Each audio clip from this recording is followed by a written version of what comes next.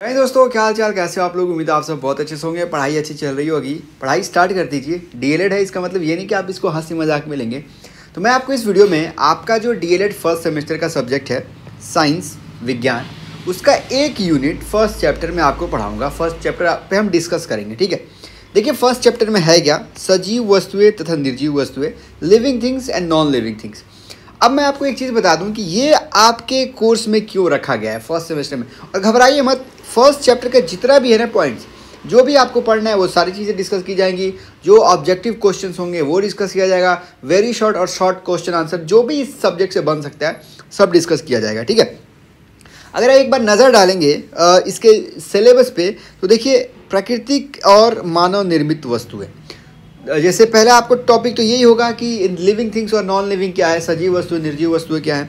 दूसरा, प्राकृतिक और मानव निर्मित नेचुरल और मैन मेड मटेरियल्स क्या होती हैं ऑब्जेक्ट्स क्या होते हैं, उसकी क्लासिफिकेशंस और लिविंग नॉन लिविंग सजीव, निर्जीव में अंतर क्या है, समानताएँ क्या है, उसके बाद जंतु एवं वनस्पति में क्या समानता है क्या अंतर है, ये सारी चीज़ें आपके सिलेबस का हिस्सा है।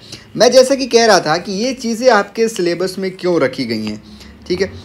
इसलिए रखी गई हैं कि जब आप एक टीचर बनेंगे या बनेंगी तो आपसे बच्चे तरह तरह के सवाल पूछेंगे। तो एक बार आपको रिकॉल करा दिया जाए, एक बार आपको दोबारा दोहरा दिया जाए, याद करा दिया जाए, जो कुछ भी आपने पढ़ा है और जो कुछ भी चीज़ें उनके करिकुलम में होती हैं क्लास वन टू फाइव तक, आप एक बार उससे गो थ्रू हो जाइए, उन सभी चीज़ों को एक बार दोबारा से देख लीजिए, ताकि कल को आपके टीचर बनने के बाद बच्चा पूछे या बच्ची पूछे तो आप उसको रिप्लाई कर सकें।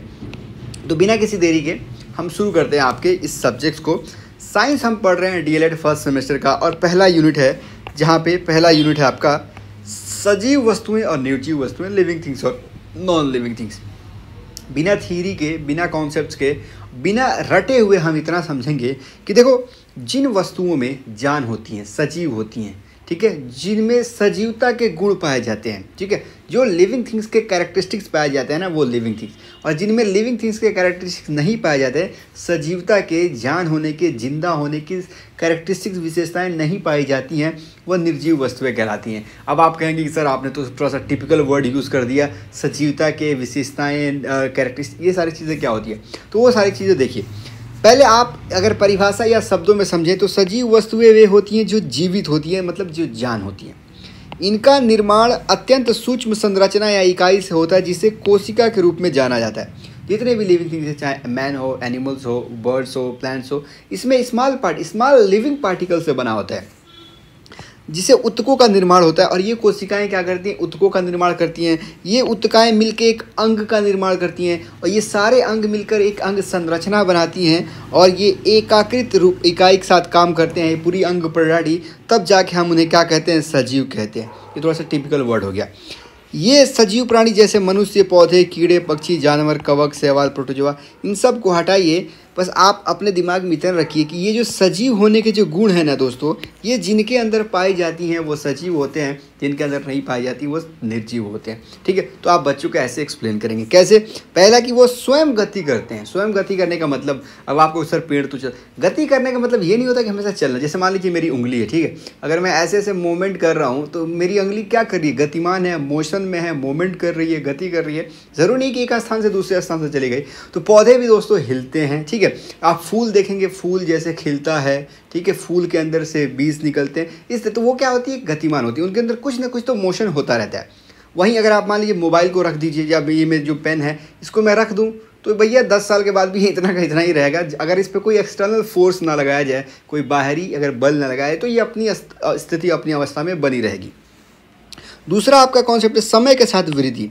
समय के साथ वृद्धि हर एक सजीव प्राणी। तो ये क्या है भाई? सजीव होने के गुण हैं, विशेषताएँ हैं। ठीक है? इंसान हो, पेड़ हो, पौधे हो, ये क्या समय के साथ वृद्धि करते हैं? विकास भी होता है इनके अंतर्गत। वृद्धि और विकास, थोड़ा सा वो टॉपिक है। आई होप कि आपको समझ देखो, वृद्धि बता देता हूँ। वृद्धि का मतलब ऐसे परिवर्तन, ऐसे आंकड़े जिसको आप माप सकते हैं। विकास मतलब जिसे आप एहसास कर सकते हैं। जैसे मान लीजिए वेट का बढ़ जाना, आपके वेट की वृद्धि हो गई, लेकिन मानसिक विकास का हो जाना, ये आपको अनुभव कराता है। कोई चीज़ों को नाप सकते लेकिन अनुभव कराता है, ठीक है? और विकास के अंतर्गत वृद्धि शामिल होता है। ठीक है? जैसे लीजिए किसी बच्चे का हाइट बढ़ गया, मोटापा बढ़ गया वेट बढ़ गया तो उसकी शारीरिक वृद्धि हुई, लेकिन कंप्लीट क्या हुआ? उसका शारीरिक विकास भी हो गया। ठीक है? चलिए, वो तो डिफरेंट टॉपिक है बट यहाँ पे आया था वृद्धि और विकास तो मैं सोचा कि इसका अंतर बता दूँ। हालाँकि आप इसको साइकोलॉजी में ज़रूर पढ़ेंगे। तो ऊर्जा प्राप्ति के लिए श्वसन करते हैं। ये क्या है भाई? सचिव होने की एक गुण है कि ऊर्जा को प्राप्त करने के लिए हम श्वसन क्रिया करते हैं। पेड़ भी सांस लेते हैं, इन्हें मनुष्य भी, पक्षी भी, जानवर भी, हर एक सांस लेते हैं। इन्हें पोषण की आवश्यकता होती है। पोषण की आवश्यकता का मतलब जैसे हमें विटामिन की प्रोटीन की कार्बोहाइड्रेट की फैट की रिक्वायरमेंट होती है। वैसे ही पौधों को क्या होती है भाई? नाइट्रोजन की आवश्यकता होती है कार्बन डाइऑक्साइड की आवश्यकता होती है। तो पोषक तत्वों की आवश्यकता होती है सजीव प्राणी में। अपशिष्ट पदार्थों को बाहर निकालने के लिए उत्सर्जन करते हैं। मनुष्य हो, जानवर हो पेड़ पौधे पेड़ पौधे कैसे? आप देखेंगे पेड़ पौधे के छाल क्या होते हैं? गिर जाते हैं। जो पत्ते पुराने हो जाते हैं, वो गिर जाते हैं। तो ये उसी उत्सर्जन की एक प्रक्रिया का हिस्सा है। नए जीवों को जन्म देने के लिए प्रजनन की व्यवस्था होती है। इनके प्रक्रिया के अंतर्गत मनुष्य के प्रजनन, जानवरों का प्रजनन पत्तों के अंदर भी होता है। जैसे पेड़ों के अंदर भी होता है। बीज का गिरना, फिर नए पेड़ का निकलना। तो ये क्या है? ये प्रक्रिया होती है। बाह्य वातावरण के प्रति प्रक्रिया। ठंड में ठंड लगना गर्मी में एहसास होना इस तरीके क्या बाह्य वातावरण के प्रति प्रक्रिया होना के, के प्रति प्रतिक्रिया होना। बहुत गर्मी हो तो पौधे सूख जाते हैं ठंड बहुत ज़्यादा होती है तो ये क्या है? बाह्य वातावरण के प्रति प्रतिक्रिया। स्वयं को परिवर्तित कर सभी परिस्थितियों में अनुकूलित रहते हैं। स्वयं को स्वयं को परिवर्तित कर सभी परिस्थितियों में अनुकूलित। तो ये क्या भाई? सजीवता के लक्षण है। इस, ये सारे निर्जीव में नहीं होंगे, ठीक है? जैसे मान लो, मैंने बताया कि मोबाइल रख दो तो बढ़ेगा नहीं, समय के साथ वृद्धि नहीं करेगा, ऊर्जा के लिए सांस नहीं लेता है तो ये सब सजीवता के गुण हो गए। ये क्या होगा भाई? लिविंग थिंग्स की क्वालिटीज़ हो गए। अब ये इसलिए आपको सिलेबस में रखा गया कि कल को आपको बच्चा पूछेगा तो आप उसको ज़्यादा से ज़्यादा एक्सप्लेन कर सकें, ठीक है? जैसे मान लीजिए आपने कह दिया कि सजीव वस्तुएँ चलती हैं तो फिर कहेगा, मैम, पेड़ तो नहीं चलती, फिर क्या पेड़ सजीव नहीं है? तो आप बताएँगे, नहीं, उसके अंदर एक गति तो आप उसको बताएँगे कि सजीव वस्तुओं के अंदर गति होती है। गति का मतलब ये नहीं कि एक स्थान से दूसरे स्थान पर, गति का मतलब कि वो मूवमेंट कर सकता है। और ज़्यादा से ज़्यादा, देखिए, जब इस चीज़ों को पढ़िए ना, इसमें कोई ऐसा चीज़ नहीं कि मैं आपको बताऊँ। बस ये करिए कि जितना डीप आप जा सकते हैं, जितने प्रश्न निकाल सकते हैं, जितने क्वेश्चन निकाल सकते हैं, जितने वर्ड्स आप निकाल सकते हैं, उसको निकालिए, याद करिए, दिमाग में रखिए। और बच्चे पूछें तो जवाब दीजिए उनको, ठीक है? सिमिलरली अगर हम निर्जीव वस्तुओं की बात करें तो जिनके अंतर्गत जान नहीं होती जिन निर्जीव वस्तु उन वस्तुओं जो जीवित नहीं है, अर्थात जिनमें जीवन की विशेषताएँ अनुपस्थित रहती हैं। ये, वे जीवन के कोई विशेष गुण जैसे प्रजनन, वृद्धि, विकास, श्वसन, अनुकूलन, उत्तरदायित्व, गति आदि नहीं करते हैं।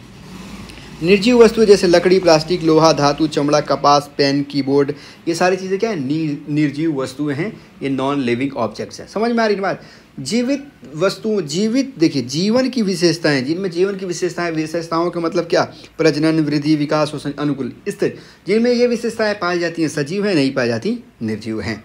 बात समझ में आ गई? अब वैसे ही क्वालिटी की बात, इसमें कोई कोशिका नहीं होती, ठीक है? इनमें कोई विकास नहीं होता। स्वतः विकास नहीं होता मतलब जैसे मान लीजिए मोबाइल आप जित, जितना मॉडिफाई करना चाहे, करते रहें, लेकिन यह खुद से कुछ नहीं कर पाएगा। इनमें कोई संचालन या गति नहीं होती, जब तक कोई बाह्य बल ना लगाया जाए।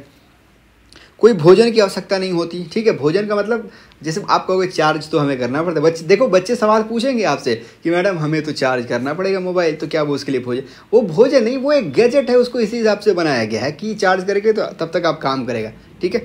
तो भोजन वो नहीं करता, खुद से ना बनाता, वो ना किसी पर आश्रित रहता है। तो वो भोजन नहीं, वो इसका, एक सिस्टम है, ठीक है? इसे स्वस्थ सांस लेने की आवश्यकता नहीं, ज़िंदा मरता नहीं होता है। इसी तरीके से बच्चे आपसे सवाल पूछेंगे। इसमें प्रजनन रिप्रोडक्शन की सिस्टम्स नहीं होती। ऐसा नहीं, दो मोबाइल रख दो तो एक तीसरा मोबाइल हो जाएगा, ऐसा कुछ नहीं होता। इनमें कोई जीवन अवधि नहीं होती है। जीवन अवधि, भाई, जो जीवित नहीं हो, मरेगा भी नहीं। ठीक है? हाँ एक्सपायरी होता है, कितने दिन बाद काम करना बंद कर देगा तो वो एक गैजेट है। याद रख लेना, बच्चे ऐसे सवाल पूछेंगे, ठीक है? रेडी रहना इसके लिए। इनमें इनमें किसी प्रकार की उत्तेजनाएँ नहीं होती। ऐसा नहीं कि गुस्सा आ गया इसको मोबाइल को, नहीं। मृत्यु का अनुभव नहीं होता, क्योंकि जो जीवित नहीं आता तो बच्चे ऐसे कि उत्तेजना नहीं आता का मतलब क्या होगा गुस्सा नहीं आता। मोबाइल तो मेरा गर्म हो जाता है गर्म हो जाता है, उसकी वर्किंग कैप बच्चे ऐसे सवाल पूछेंगे, वो गर्म हो जाता है क्यों? इसको गुस्सा हो जाता है? नहीं, ऐसा गुस्सा नहीं आता। उसकी वर्किंग कैपेसिटी है कि वैसे गुस्सा हो जाता है, ठीक है? अब आपको थोड़ा सा बोर हो रहा होगा तो चलो थोड़ा सा क्वेश्चन कर लेते हैं। ठीक है? ताकि आपको थोड़ा सा अच्छा लगे। चलो ठीक है, सजीवों के प्रमुख लक्षण, बोलना, हंसना, प्रजनन या सभी। ये सजीव के क्या प्रमुख लक्षण है? अब आप कहोगे, सर, ये सभी ये सभी। तो गलत हो जाएगा। बोलना कहाँ से होगा? क्या पौधा बोलता है? क्या पौधा हंसता है? नहीं। लेकिन एक लक्षण होगा, क्या वो है प्रजनन। समझ में आ गया? इसी तरीके से सवाल आपसे पूछ देगा और आप कन्फ्यूज़ करके आ जाएँगे। तो थोड़ा सा क्वेश्चन को पढ़ लीजिएगा, ठीक है? तो सजीवों के प्रमुख लक्षण में ये सारी चीज़ें हो जाएँगी। चलिए नेक्स्ट देखते हैं। वे वस्तुएँ जिन वे वस्तुएँ जिनका निर्माण प्रकृति द्वारा होता है, क्या कहलाती हैं? नेचुरली जो बनेगा उसको प्राकृतिक वस्तुएँ कहलाएँगी। स्वनिर्मित नहीं होगा, मानव निर्मित नहीं होगा, ये सभी नहीं होगा, प्राकृतिक वस्तुएँ कहलाएँगी, ठीक है? इस तरीके से सवाल आपसे पूछ देगा ऑब्जेक्टिव्स में। रेगिस्तान में पाए जाने वाले पौधों की पत्तियाँ होती हैं, रोएदार, नुकीली कांटेदार सॉरी कांटेदार या उपरुक्त सभी। ये कहाँ से आया? अभी हम इसको देख लेंगे। तो हम यहाँ तक देख चुके थे, कहाँ तक देख चुके थे? हम यहाँ तक देख चुके थे निर्जीव वस्तुओं के गुण। अब आइए, ज़रा इसको देख लेते हैं। अब अंतर अगर पूछ दे, अंतर अंतर देखिए। इसकी कोशिकी संरचना में देखिए तो ये छोटे छोटे जीवित कोशिकाओं से बना होता है, जबकि इसके अंदर कोई कोशिकाएँ नहीं होती हैं। संवेदनशीलता सजीव वस्तुओं की एक विशेषता, उनकी संवेदनशीलता होती है। जिसके माध्यम से वे विभिन्न वस्तुओं को समझते हैं तथा बाह्य उद्दीपन के प्रति प्रतिक्रिया करते हैं। जैसे मान लीजिए बिल्ली के सामने अगर दूध रख दे तो वो प्रतिक्रिया करेगी, ठीक है? बिल्ली की पोस्टर के सामने आप दूध रखें तो प्रतिक्रिया नहीं करेगी। उद्दीपन का मतलब होता है एक ऐसी वस्तु या एक ऐसा कारक, ठीक है? जब आप थॉन्डाई का वो पढ़ेंगे ना सिद्धांत, उसके अंदर ये बहुत ज़्यादा यूज़ होता है। उद्दीपक का मतलब होता है एक ऐसा कारक जो आपको कोई अनुक्रिया करने पर बाध्य कर दे। The something which tends you to do an activity तो वो उद्दीपन या इंग्लिश में स्टिमुलस कहते हैं। तो अगर आप रखेंगे तो निर्जीव वस्तुएँ क्या करेंगे? उसके ऊपर अनुक्रिया करेंगे। जबकि सजीव वस्तु अनुक्रिया करेंगे, निर्जीव वस्तु अनुक्रिया नहीं करेंगे। ठीक है? उपाचय। दो उपाचय की प्रक्रिया उपचय और उपाचय। एनाबॉलिज्म और कोटा और कोटाबॉलिज्म। तो ये दो प्रक्रियाएँ होती है, जबकि इसमें निर्जीव वस्तु में नहीं होती। ये प्रक्रिया क्या है? आप जब खाना खाते हैं तो आपके खाना अंदर जाके जो पाचन क्रिया होती है, फिर उसके बाद जो ऊर्जा बनती है, पूरे शरीर में संचारण होता है तो ये उसकी विशेषता होती है। वृद्धि और विकास होता है सजीवों में, जबकि निर्जीवों में नहीं होता है। ठीक वैसे ही, वातावरणीय नियंत्रण। ठीक है, सजीव वस्तुएँ वातावरण के साथ क्या करती है भाई? संबंध बनाती हैं, अनुकूलन करती हैं, वातावरण के अनुसार अपना व्यवहार चेंज करती हैं, जबकि निर्जीव वस्तुएँ समान रहती हैं, ये चेंज नहीं करती। निश्चित आकृति। सजीव वस्तुओं की निश्चित आकार आकृति होती है, जबकि निर्जीव की नहीं होती है। अब यहाँ समझिएगा सजीव वस्तु के जैसे मनुष्य है तो मनुष्य की निश्चित आकृति है कि भैया दो पैर हैं, दो हाथ हैं, दो चीज़ें हैं, ठीक है?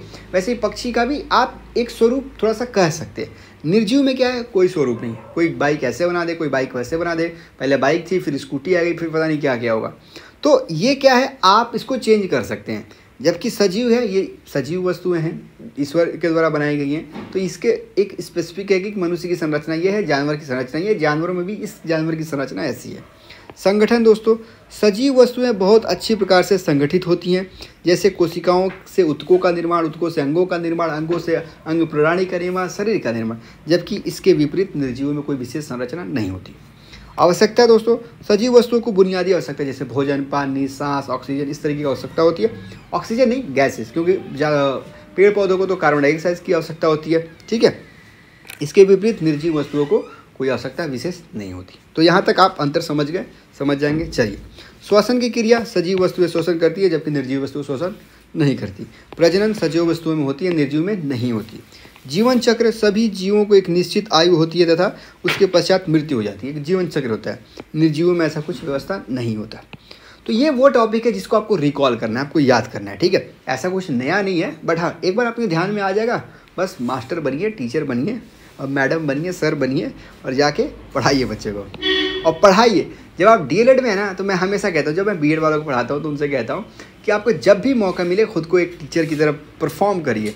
आपके घर में छोटे बच्चे हों, छोटे भाई हों, भतीजे हों, भांजे हों कज़न हो, किसी को भी हो, उनको बुलाइए, शाम को बैठाइए, दो घंटा उनको पढ़ाइए। पढ़ाना है, ठीक है, पढ़ाना है। अब एक और आपके सिलेबस में टॉपिक है, प्राकृतिक एवं मानव निर्मित वस्तुएँ प्राकृतिक नेचुरल नेचुरल और मैन मेड या फिर आर्टिफिशियल कह सकते हैं। नेचुरल का मतलब भाई जैसे सांस लेते हैं, आप हवा हो गई, पानी, सूरज, रोशनी, ये क्या है? प्राकृतिक वस्तु है। तो जिन वस्तुओं को प्राकृतिक हमें निःशुल्क प्रदान करती है, तथा जिनका प्रयोग हम उनमें बिना कोई परिवर्तन किए कर सकते हैं, प्राकृतिक वस्तुएँ अथवा प्राकृतिक संसाधन कहलाते हैं। प्राकृतिक वस्तुएँ जैसे मिट्टी पेड़ पौधे खनिज, सूर्य, चंद्रमा इत्यादि, इनका वर्गीकरण दो भागों में किया जा सकता है। समाप्त होने वाली वस्तुएँ जैसे समाप्त न होने वाली जैसे वायु, मिट्टी और ऊर्जा, और समाप्त होने वाली जैसे जीव जंतु खनिज, जल, कोयला एवं पेट्रोलियम आदि। बात समझ में आ गई?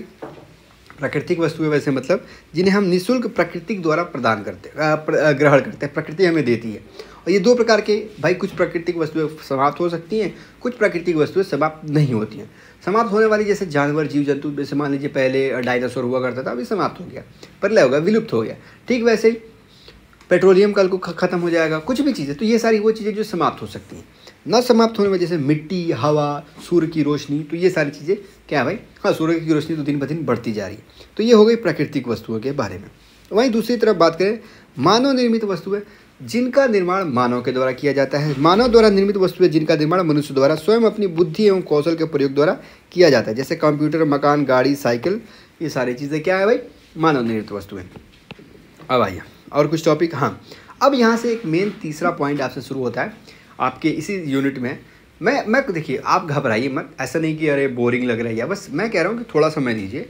आपका एक यूनिट यहीं ख़त्म कर लेते हैं ना, और आपको पता है, ऐसे अगर छः पाँच से छः वीडियो देख लेंगे ना, ख़त्म हो जाएगा, पूरा ये सब्जेक्ट ही ख़त्म हो जाएगा। तो पंद्रह, बीस मिनट तो आप दे ही सकते हैं अपने अपने एक सब्जेक्ट को, और डेली थोड़ा बहुत थोड़ा बहुत देखेंगे तो ख़त्म हो जाएगा। अगला जो टॉपिक है, मानव एवं जंतु। अब इसमें आप सोचिए, पढ़ना क्या हो सकता है? आप जब बच्चों को पढ़ाएँगे तो उनसे क्या पढ़ा सकते हैं? आप उनको पढ़ा सकते हैं, देखो, मनुष्य और जंतु अब आपने तो कह दिया कि दोनों सजीव हैं तो बच्चे पूछ लेंगे ना, मैडम, दोनों में क्या समानता है या दोनों में क्या अंतर है? या दोनों कैसे एक दूसरे से भिन्न है, कैसे जुड़े हुए तो इसमें थोड़ा सा एक्सप्लेन करना पड़ेगा। तो ज़रा पढ़ लेते हैं। देखो, पौधे मानव जंतु के अभिन्न अभिन्न अंग का मतलब बिना पौधों के मानव का का अस्तित्व नहीं है। हमसे जुड़ा हुआ है अभिन्न हमसे अलग नहीं हो सकता, ऐसा अंग है। पौधों के बिना मानव जीवन संभव नहीं है, क्योंकि ये जीवन का मूल आधार है। ऑक्सीजन हमें चाहिए, खाने के लिए फल चाहिए, हमें सब्ज़ियाँ चाहिए। प्रकाश संश्लेषण की क्रिया में पौधे ऑक्सीजन निकालते हैं और यही ऑक्सीजन हमें वातावरण से प्राप्त होती है और हमारे जीवन का मूल आधार है। पौधे एवं जंतु पूरी तरह से जीवों से अलग रूप में हैं और उनके पास अपना अलग अस्तित्व भी है। दोनों के बीच अंतर कोशिकाओं का स्तर का गहराया जाता है। पौधे और जंतु में कई तरह की देखो, पौधे और जंतु में कहने का मतलब ये कई तरीके की समानताएँ और कई तरीके का अंतर है। मनुष्य मनुष्य का एक अभिन्न अंग है पौधा। मनुष्य जो ऑक्सीजन लेता है, वो पौधों के द्वारा ही प्राप्त किया जाता है। पौधे कार्बन डाइऑक्साइड ऑक्सीजन छोड़ते हैं और वातावरण से हमें ऑक्सीजन प्राप्त किया तो मनुष्य बहुत हद तक आश्रित है किस पे? पौधों पे। पौधों के बिना जीव मनुष्य का जीवन का अस्तित्व नहीं है, स्वीकारना मुश्किल है। अब पौधे और जंतुओं में क्या समानताएँ हैं भैया? देखो, भोजन। पहला टॉपिक है भोजन। दोनों को भोजन की आवश्यकता होती है, ठीक है? दूसरा, श्वसन। दोनों सांस लेते हैं। तीसरा उत्सर्जन, ठीक है, उत्सर्जन जैसे बताया, अपशिष्ट पदार्थों का, जो भी बैड थिंग्स हैं आपके अंदर, उसको बाहर निकालना तो उत्सर्जन की क्रिया। वृद्धि होती है दोनों में तो ये समानताएँ हैं। गति मोशन करते रहते हैं मतलब गति का मतलब नहीं कि पौधे भी एक जगह से दूसरी जगह चल जाए नहीं गति करते रहते हैं, हिलते रहते हैं मोशन करते रहते हैं, स्वगति। प्रजनन करते रहते हैं रिप्रोडक्शन से रहता है। सेंसिटिव होते हैं, संवेदनशील होते हैं मतलब गर्मी में उनको, गर्मी का एहसास होता है, ठंडी में ठंड से उनको सिकुड़ना तो ये सारी क्या सेंसिटिव होती हैं, पौधे हों या जंतु हो। गट इट सिमिलरिटी पता पता हो गई? बता दोगे बच्चों को? देख लेना, जाओ जाओ टीचर बन के जाओ। जब बच्चे पूछेंगे ना, तब मज़ा आएगा। तब मुझे एक बार कमेंट करना, ठीक है? अब इनकी कुछ भिन्नताएँ देख लेते हैं, कुछ अंतर देख लेते हैं, ठीक है? ये जो आप पढ़ रहे हो ना, इसको पूरा आपको कम से कम डेढ़ दो महीने में आपको बच्चों को पढ़ाना होगा, पूरी चीज़ें। बट एक बार देख लो रिकॉल कर लो। हाँ डिफरेंट की बात करें डिफरेंस और अंतर की बात करें तो गति की बात कर लेते हैं। पौधे और जंतु में एक गति का ये डिफरेंट है कि पौधे समानतः एक स्थान पर ही स्थिर रहते हैं। ठीक है?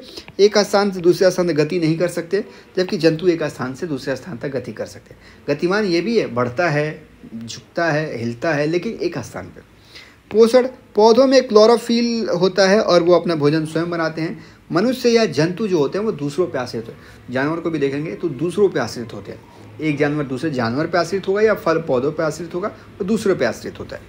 श्वसन पौधे भाई ऑक्सीजन लेते हैं, पौधे कार्बन डाइऑक्साइड लेते हैं, ऑक्सीजन छोड़ते हैं। जबकि जंतु क्या करते हैं? ऑक्सीजन लेते हैं, कार्बन डाइऑक्साइड छोड़ते हैं। दोनों एक दूसरे की क्या है भाई? पूरक है। पौधे कार्बन डाइऑक्साइड लेंगे, ऑक्सीजन छोड़ेंगे और जंतु ऑक्सीजन लेंगे, कार्बन डाइऑक्साइड छोड़ेंगे। तो ये क्या साइकिल चलता रहता है।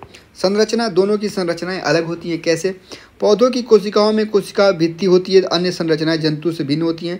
जंतु कोशिकाओं में कोशिका भित्ति नहीं होती तथा पौधों की कोशिका तुलना में विभिन्न दोनों की संरचना अलग होती है। मनुष्य की हो या जंतु की हो या जानवर की हो या पौधों की हो तो दोनों की संरचना जो होती है, कोशिकाओं, कोशिका भित्ति ये विपरीत होता है, अंतर होता है।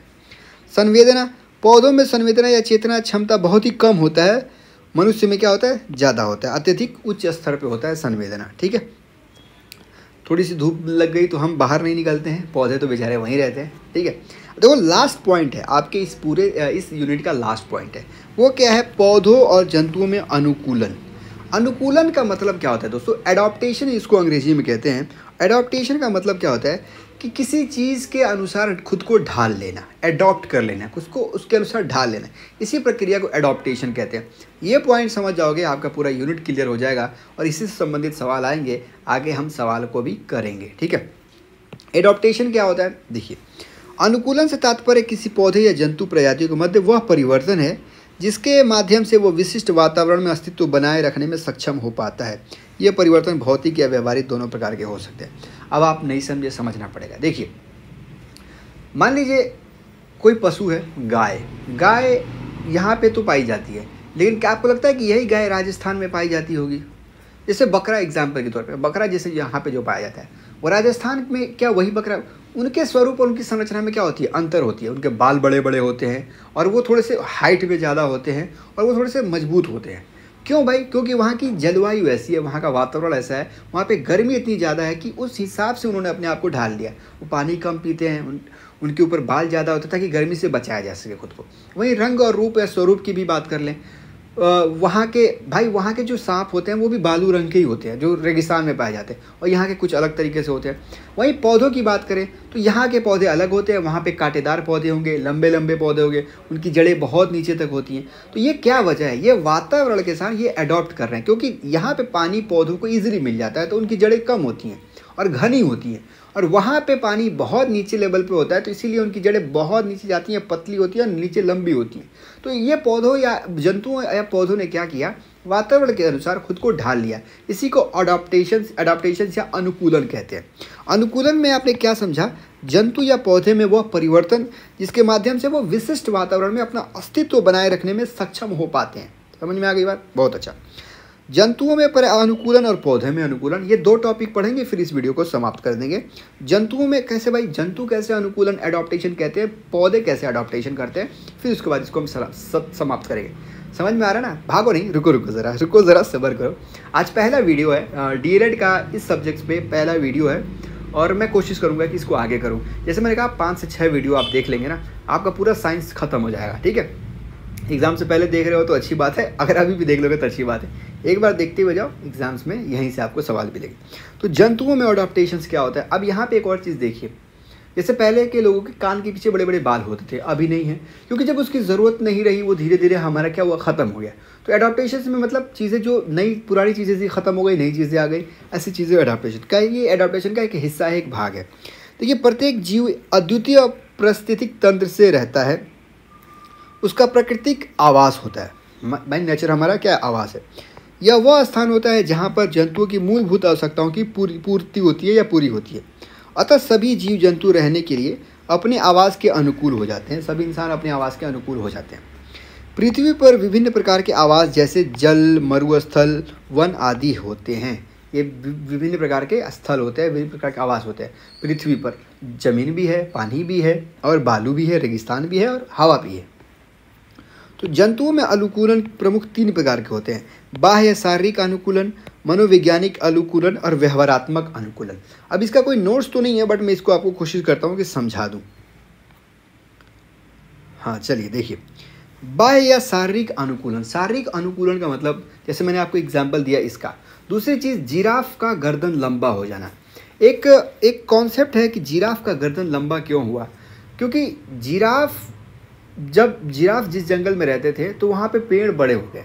तो ऊँचे पत्तियों को खाने के लिए उनके अपने लम अपने गर्दनों को खींचना पड़ा। इससे जो छोटे गर्दन वाले जिराफ थे, वो समाप्त हो गए। लंबे जिराफ वाले गर्दन गर्दन वाले जिराफ बचे रह गए। तो इस तरह से धीरे धीरे कैसे क्या हुआ, जितने भी छोटे गर्दन वाले जिराफ थे, वो ख़त्म हो गए। लंबे गर्दन वाले जिराफ बच गए।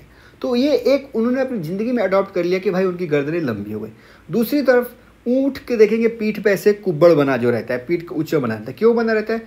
और ऊँट के पैरों में देखेंगे वो मखमल की तरह, वो गद्दे, क्यों? उनको गर्मियों में चलना है तो उन्होंने अपने पैरों को इस तरीके से बना लिया, ठीक है?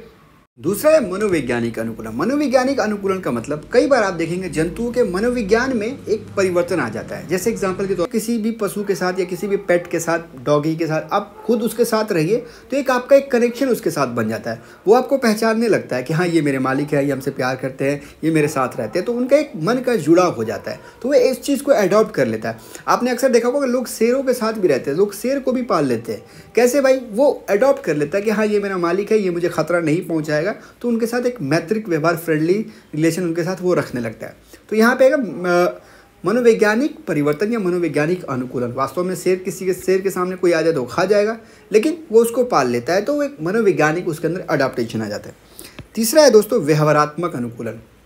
व्यवहारात्मक अनुकूलन का मतलब जब आप किसी परिस्थिति के अनुसार अपने व्यवहार में परिवर्तन कर लेते हैं तो जंतु अपने व्यवहार में कैसे परिवर्तन कर लेते हैं, इसका बहुत ही सही सारा एग्ज़ाम्पल ये है। आपने देखा होगा, आपको पता है गाय या बकरी। बकरी, अगर मान लीजिए कुछ बकरियाँ आपने, वो नीम की पत्ती खाती हैं। कैसे खाती हैं?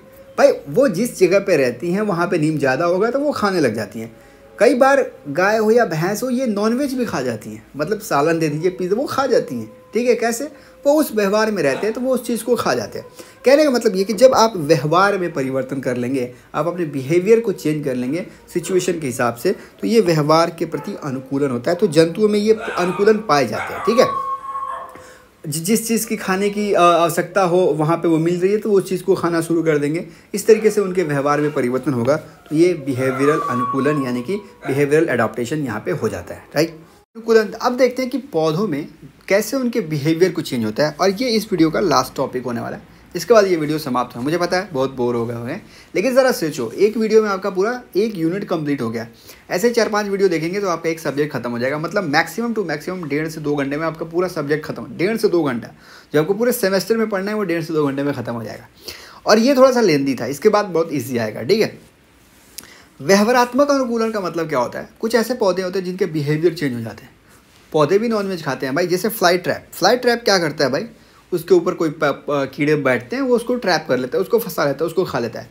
इसके विपरीत एक पौधे ऐसे होते हैं वो दूसरे पौधे पे पे आश्रित होते हैं। वो उनकी तनाएँ दूसरे पौधे के ऊपर चढ़ के और वहाँ से वो ऊर्जा प्राप्त करती हैं। तो ये क्या हो गया? उसके व्यवहार में परिवर्तन। रेगिस्तान में कुछ ऐसे पौधे होते हैं जो कई कई महीने निर, वो निर्जीव के भांति व्यवहार करते हैं। ठीक है? जैसे देखिए, व्यवहारिक अनुकूलन में विभिन्न पौधे व्यवहारिक रूप से परिवर्तन करके विभिन्न परिस्थितियों में समायोजन स्थापित करते हैं, एडजस्ट करते हैं अपने आप को। कैसे भाई? भोजन को प्राप्त करने के लिए पौधे से, आपको पता है, पौधे प्रकाश से, प्रकाश संश्लेषण प्रकाश लेते हैं और प्रकाश संश्लेषण के बाद क्या करते हैं? भोजन बनाते हैं। लेकिन वीनस फ्लाई ट्रैप भोजन के लिए कीटों को जाल में फंसा लेता है तो ये उसका क्या होगा? व्यवहार में परिवर्तन हो गया। जल एवं पोषण हेतु रेगिस्तान में पौधे कई महीनों तक निष्क्रिय अवस्था में रह सकते हैं। केवल बारिश आने पर वो सक्रिय अवस्था में आ सकते हैं। ठीक है तो ये भी क्या हो गया? पौधों के अंदर एक अनुकूलन हो गया भाई। वो खुद को एडजस्ट कर रहे हैं, खुद को नई चीज़ों को अडॉप्ट कर रहे हैं। प्रजनन हेतु विभिन्न पौधे नई संतानों के विकास हेतु उसके जो पौधों के जो बीज होते हैं, जो सीड्स होते हैं, उसको गिराते हैं या उसको प्रसारित करते हैं। जैसे सरसों ही देख लीजिए। सरसों उसके ऊपर वो मधुमक्खी बैठी उसके उसके पैर में लगता है, फिर वो दूसरी। तो इस तरीके से क्या होता है, वो नई सरसों आती है। कई बार हवाएँ चलती हैं तो एक बीज दूसरी जगह उड़ता है, वो गिरते हैं तो इस तरीके से वो प्रजनन करते हैं। तो अपने अनुसार वो खुद को ढाल लेते हैं। तो ये कहने का मतलब आपका कंप्लीट टॉपिक हो गया। एक बार इस चीज़ पर नज़र डालिए। ठीक है? एक बार इस पर नज़र डालिए, फिर उसके बाद आपकी सारी चीज़ें ख़त्म हो जाएँगी। बात समरी करने से सारांश जानने से पहले हम ज़रा कुछ क्वेश्चंस को देख लेते हैं, ताकि आपको भी थोड़ा सा लाइट माइंड हो थोड़ा सा हल्का दिमाग हो, फिर उसके बाद एक बार समराइज़ करके, और ये जो पीडीएफ है, मैं आपको एक चीज़ फिर से बता दूँ, जो पीडीएफ है ना, वो पीडीएफ मैं आपको अपने व्हाट्सएप ग्रुप पे भेज दूँगा, आप वहाँ से ज्वाइन करके आप उसको ले सकते हैं। बाकी मुझे ये इंस्टा पे फॉलो करिए, मैं वहाँ पे आपको भेज दूँगा, या फिर कमेंट में आप कोई जी मेल दीजिए, मैं जैसे भी वो भेज दूँगा। तो एक डी का ग्रुप है, मैं वहाँ पर आपको भेज दिया करूँगा। सजीव जैसे ये सवाल हमने देख चुका है भाई, सजीवों के प्रमुख लक्षण क्या होते हैं? चलिए यहाँ से मॉक टेस्ट होने वाला है। इस सब्जेक्ट इस यूनिट में जो आपने पढ़ा, हम देखते हैं आपका मॉक टेस्ट का। सजीवों के प्रमुख लक्षण क्या होते हैं? बोलना, हंसना, प्रजनन या ये सभी? कौन सा होगा? तो बोलना भाई, पौधे तो बोल नहीं सकते, हंस नहीं सकते तो आपका सही जवाब क्या हो जाएगा? प्रजनन। करेक्ट चलिए। नेक्स्ट हम ऑलरेडी देख चुके हैं। जो वस्तुएँ जिन उनका निर्माण प्राकृतिक द्वारा होता है तो वो क्या कहलाती हैं? प्राकृतिक वस्तुएँ कहलाती हैं। ये तो बहुत ही आसान था, कोई दिक्कत नहीं। रेगिस्तान में पाए जाने पौधे रोएदार होते हैं, नुकीली होती है, कांटेदार होती हैं उपरक्त सभी, ये तो हमने देख रखा है। अब आइए, श्वसन क्रिया होती है। श्वसन क्रिया किसमें होती है? जंतुओं में, जानवरों में, या फिर पौधों में, या दोनों में, या इनमें से कोई नहीं? तो क्या सही जवाब हो जाएगा? श्वसन क्रिया किसमें होती है? बच्चों से आप ऐसे ही सवाल पूछेंगे। श्वसन क्रिया किसमें होती है भाई? दोनों में होती है। दोनों सांस लेती हैं। सजीव वस्तुएँ कहलाती हैं। सजीव वस्तुएँ कौन कहलाएँगी? जो चल नहीं सकते। जो चल नहीं सकते वो सजीव वस्तुएँ हैं। अच्छा श्वसन क्रिया करती हैं। ए, बी दोनों, इनमें से कोई नहीं तो सजीव वस्तुएँ कौन सी होंगी भाई? जो श्वसन क्रिया करती हैं। नेक्स्ट मनुष्य की श्वसन प्रक्रिया में काम आने वाली गैस। श्वसन प्रक्रिया मतलब सांस लेने के लिए कौन सी गैस इंसान लेता है? ओजोन नहीं भैया, ओजोन नहीं। नाइट्रोजन, कार्बन डाइऑक्साइड या ऑक्सीजन? तो कौन सा हो जाएगा? ऑक्सीजन मनुष्य लेता है, ठीक है? ये तो ऐसे सवाल थे जो आप आसानी से कर सकते हैं। जिन जंतुओं, जिन वस्तुओं का निर्माण मानव अपनी बुद्धि एवं विवेक से करता है, उसे क्या कहते हैं? मानव अपनी बुद्धि, विवेक अपने कौशल से करेगा, उसको क्या करेंगे भाई? मानव निर्मित वस्तुएँ कहें। ए, कोई दिक्कत कोई दिक्कत नहीं। पृथ्वी पर पाए जाने वाले पदार्थों को विभाजित किया गया है। कैसे? सजीवों में या निर्जीवों में? दोनों में किया गया है। मृतकों में तो यानी कि इनमें, ये सभी में। सजीवों में भी किया गया, निर्जीव। तो एक से ज़्यादा सवाल हो गया ये सभी। मृतकों का मतलब जैसे मान लीजिए कोई वस्तु सजीव थी, वास्तव में अभी वो निर्जीव तो वो मृत अवस्था में पाई जाती है। तो ये भी एक भाग हो गया। तो दोनों में तो की जाती है तो उपयुक्त इनमें से सभी। Correct correct. पौधों में भोजन का संचय होता है। हाँ ये एक थोड़ा सा साइंस का क्वेश्चन है, इसको कौन बता सकता है? पौधों में पौधों में भोजन का संचय होता है। जाइलम द्वारा, फ्लोएम द्वारा, जल द्वारा या पैलिसेड द्वारा। तो भोजन, यानी कि फ़ूड फ़ूड मतलब फ्लोएम। वहीं जल जल मतलब जाइलम। जाइलम, जल को एक दूसरे ये क्या होता है दोस्तों? जिसे जड़ से लेके ऊपर तक जो जल पहुंचाता है जाइलम, और भोजन का संचय फ्लोएम द्वारा होता है। तो इसको ज़रा याद कर लेना। कोई दिक्कत कोई दिक्कत नहीं। उपाचय की क्रिया दो तरीके मेटाबॉलिज्म कितने प्रकार के होते हैं? दो प्रकार के होते हैं। कौन कौन से? एनाबोलिज्म और कैटाबोलिज्म। ठीक है? दो प्रकार के होते हैं। इसको ज़रा याद कर लीजिएगा। अब अति लघुत्र की बात करें तो ये सारे सवाल आप कर सकते हैं। सजीव वस्तुएँ क्या हैं? बताइए, बता सकते हैं? बिल्कुल सही। निर्जीव वस्तुएँ क्या हैं? बता दीजिए। सजीवों के प्रमुख लक्षण क्या हैं? पौधों में अनुकूलन कितने प्रकार के होते हैं? पौधों में अनुकूलन कितने प्रकार के बताओ। दो प्रकार के। कौन कौन सा? कौन कौन सा? संरचनात्मक और व्यवहारात्मक। स्ट्रक्चरल और बिहेवियर दो प्रकार के। पौधों में अनुकूलन के दो क्षेत्र बताइए। किन क्षेत्रों में पौधे करते हैं अनुकूलन? तो मरुस्थलीय हो जाएगा, जलीय हो जाएगा, कटीय हो जाएगा उस कटीय। तो किन क्षेत्रों में पौधे अनुकूलन करते हैं? रेगिस्तान में करते हैं, पानी में करते हैं जहाँ पे बर्फ़ गिरती है वहाँ पे करते हैं। तो उन क्षेत्रों में उन दो क्षेत्रों के नाम बताने हैं। लघुत्तरी की बात करें उस वर्षा वनों में पौधे अनुकूलन किस प्रकार करते हैं? जहाँ पे ज़्यादा वर्षा होती है, वहाँ पे वो पौधे किस तरीके से करते हैं? सजीवों के प्रमुख लक्षण का वर्णन करिए। पौधों में पर्यावरण अनुकूलन किस प्रकार होता है? तो भाई संरचनात्मक और व्यवहारात्मक आपको बताना पड़ेगा। जंतुओं में पर्यावरण अनुकूलन किस प्रकार होता है? ठीक है? जंतु कैसे करते हैं वो बताइए। पौधे एवं जंतुओं में अंतर बताइए। सजीव निर्जीव वस्तुओं के मध्य अंतर बताइए। ये सारे सवाल आप वो हैं जो आसानी से आप कर सकते हैं। कोई दिक्कत कोई दिक्कत नहीं। है समरी कर लेते हैं, फिर इस वीडियो को समाप्त करेंगे। सजीव वस्तुएँ, वे वस्तुएँ जिनके अंदर सजीव, जीवित के विशेषताएँ, जीवित के लक्षण पाए जाते हैं, जिनके अंदर जान होती हैं सजीव कहलाती हैं। सजीव में जिनके अंदर ये विशेषताएँ नहीं पाई जाती हैं, जैसे प्रजनन, वृद्धि, विकास, श्वसन, अनुकूलन, ये नहीं पाई जाती हैं, वो निर्जीव कहलाती हैं। इसी प्रकार से प्राकृतिक वस्तुएँ जो निःशुल्क प्रकृति द्वारा पाई जाती हैं, मानव निर्, प्राकृतिक वस्तुओं को दो बारे में भाग सकते हैं, ख़त्म होने वाली और ना ख़त्म होने वाली। ख़त्म होने वाली मतलब जैसे जल जल जन जीव जन जीव हो गया, पेट्रोलियम वस्तुएँ हो गई, खनिज, ये सारी चीज़ें। न ख़त्म होने वाली मिट्टी हो गई, हवा हो गई, ऊर्जा हो गई, सूर्य के प्रकाश हो गया। मानव निर्मित मतलब मनुष्य अपने वृद्धि, अपने कौशल, अपने कला से बनाता है, उसे मानव निर्मित कहते हैं। साइकिल, कंप्यूटर, ये सारी चीज़ें इसके उदाहरण हो गए, ओके? पौधों और जंतुओं में समानताएँ, भैया, समानताएँ आपने देखा, खाना खाते हैं, शोषण करते हैं, प्रजनन करते हैं, ये समानताएँ हो गई, ठीक है? और जंतुओं में पर्यावरणीय अनुकूलन जंतुओं में प्रायोरिक अनुकूलन जंतुओं में और पौधों में। और ठीक उसी प्रकार से पौधों में दो तरीके से होते हैं। कौन कौन से भैया? पौधों में अनुकूलन दो प्रकार के होते हैं। स्ट्रक्चर वाइज संरचनात्मक और व्यवहारात्मक। कुल मिला के बस यही आपका पढ़ना है। कोई दिक्कत? पौधों में संरचनात्मक अनुकूलन और व्यवहारात्मक अनुकूलन। कोई दिक्कत? पौधी अनुकूलन के क्षेत्र की बात करें कौन कौन से क्षेत्रों में पौधी अनुकूलन होता है भैया? प्राकृतिक मैदान मैदानी क्षेत्रों में अनुकूलन, तैगा प्रदेश में, जलीय क्षेत्रों में अनुकूलन उष्णकटिबंधीय वर्षा वाले में और मरुस्थली कहीं भी होगा, मरुस्थलीय क्षेत्रों में। इन क्षेत्रों में पौधे क्या करते हैं? अडॉप्ट करते हैं अपने संरचना में, अपने व्यवहार में क्या करते हैं? अडॉप्ट करते हैं नई चीज़ों को। तो बस इतना ही, यहीं तक आपका था। इस वीडियो में फ़िलहाल इतना ही और इस वीडियो को हम यहीं समाप्त करेंगे। अगले वीडियो में हम आपका यूनिट फोर देखेंगे। यूनिट फोर यहाँ पे क्या है? यहाँ पे यूनिट फोर होगा ठीक है? यूनिट फोर देखेंगे। यूनिट फोर में क्या है? भौतिक मापन। भौतिक मापन क्लास टू होने वाला है जिसमें हम भौतिक मापन आपके साइंस का देखेंगे ठीक है? तो इस तरीके से आप वन शॉर्ट वीडियोस को देखते जाइए। एक शॉर्ट में आपके पूरा इस तरीके से चीज़ों को समाप्त की जाएगी।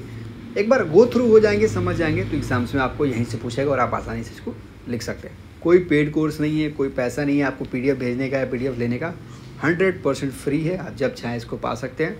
इंस्टाग्राम पे मुझे फॉलो कर लीजिए कमेंट में बताइए कहाँ भेजना है, मैं भेज दूँगा। नीचे एक व्हाट्सएप ग्रुप का लिंक होगा, आप वहाँ से जुड़ सकते हैं। इस वीडियो में फ़िलहाल इतना ही। जब तक खुश रहिए, पढ़ते रहिए, आबाद रहिए। वीडियो कैसी लगी आप मुझे कमेंट बता सकते हैं। पसंद आई तो लाइक कर सकते हैं। और अपने किसी अन्य दोस्तों को जोड़ना चाहते हैं जो अभी तक पढ़ाई स्टार्ट नहीं किया है, जो अभी तक केवल प्लानिंग कर रहा है, मेरी आपसे रिक्वेस्ट है, आप उनको ज़रूर जोड़िएगा इस चैनल के साथ। बहुत शुक्रिया। खुश रहिए, आबाद रहिए, पढ़ते रहिए, आगे बढ़ते रहिए। जय हिंद, जय भारत।